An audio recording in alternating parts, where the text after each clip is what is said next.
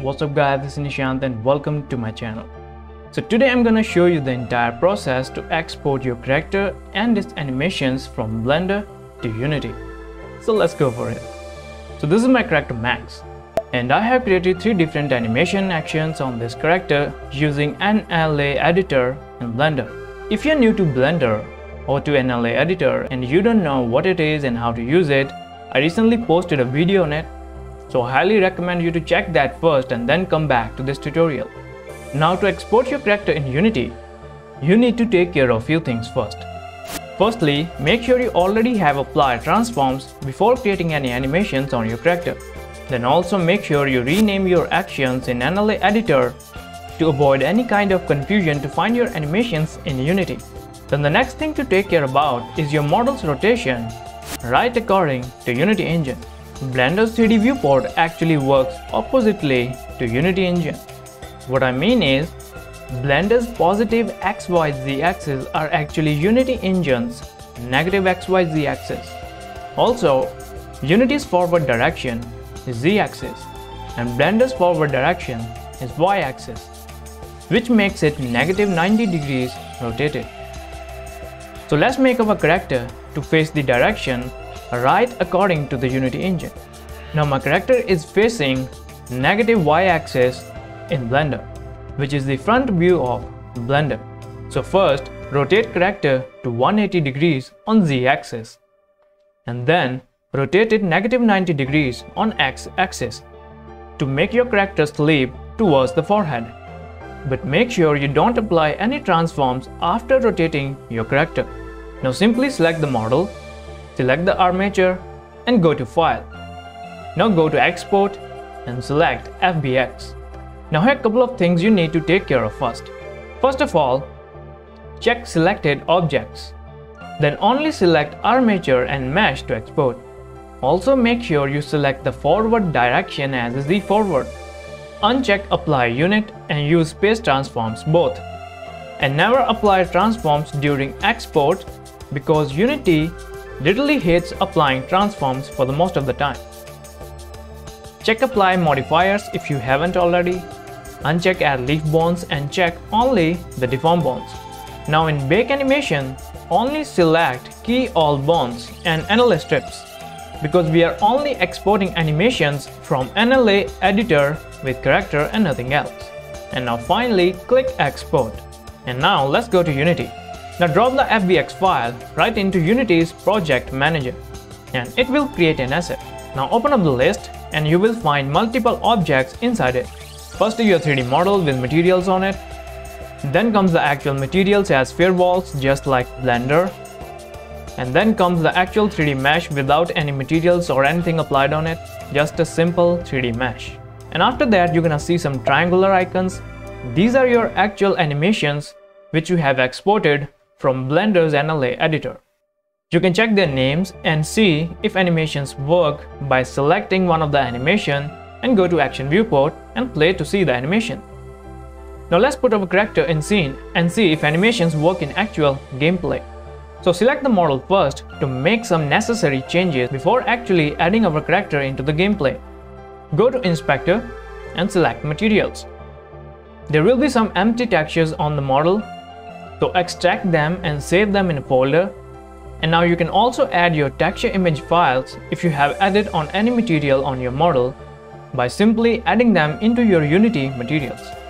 Now go to model settings. Here you can change many things depends on your need as a game developer. But for this tutorial, leave them at default values, they're gonna work just fine. Now go to rig and keep the animation type to generic. Change the avatar definition to create from this model and apply. Now if you check your asset, there will be a new object which is your model's avatar. Now go to animations, here you can check your animations listed.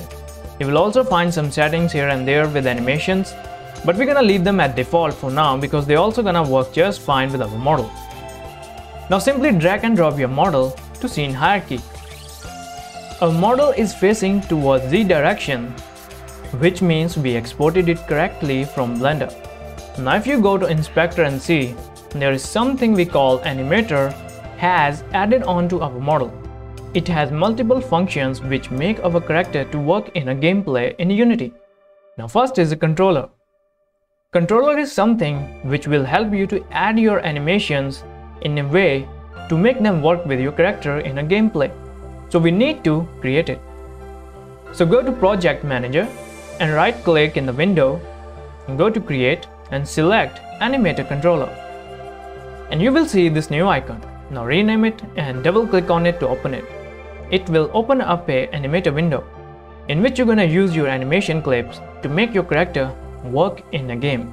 So drag it into the animator controller to connect it with your character. Avatar is already preloaded into the slot, but if any time you're working with your character and it is not loaded, then simply go to your model and simply drag it onto this slot. I will explain root motion just in a few moments that what it is and where we need it. Update mode and culling mode also require their own explanations in depth and are literally related to the game development. But you can leave them just at default values, they're gonna work just fine like rest of the stuff. Now if you play the game, game mode starts but character not doing anything, right? Well why is that? Because we haven't added any animations into the animator yet. So simply let's drag our walk animation right into the animator or there is another best way to use it is simply duplicate your animation into your project manager as an action clip, go to inspector window and check the loop time to make sure it keeps repeating itself. And now let's drag it into the animator. It will connect it automatically as an entry state in your animator. And now if you play the animation, congrats, our character starts to perform walk animation. But it is just walking in a loop, right? Like a repetition. But I want it to move in a game scene like generally characters do in a game. So let's make it work. Select the character in Project Manager and go to Rig. Now change the root node to Bone or the bone which you have selected as a root bone for your character in Blender. Now apply and play the game again to see how it works. Well, nothing changed, but why? Because we changed the properties on our asset, which only affects object inside it, but nothing outside. So delete this duplicated walk animation and duplicate the walk animation again, which has been saved with new root settings. Now check the loop time again and drop it in an animator. Now let's play the game and see how it works. Hmm, interesting. Our character is still not moving forward. Well, there is one last thing to do. Simply check the apply root motion and play it again. Now your character just gonna keep walking to the infinite end of the viewport. Now also check your other animations one by one by replacing walk animation and see if they also work. Perfect. So that's it for the tutorial guys and as always like, share and subscribe. Have something to say or you wanna ask something, leave the comments in comment section and I will get to that. So thanks for watching and I'll see you guys in the next tutorial. Bye.